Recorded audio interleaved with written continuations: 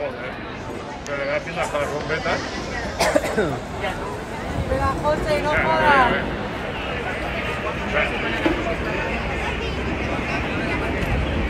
Venga, va.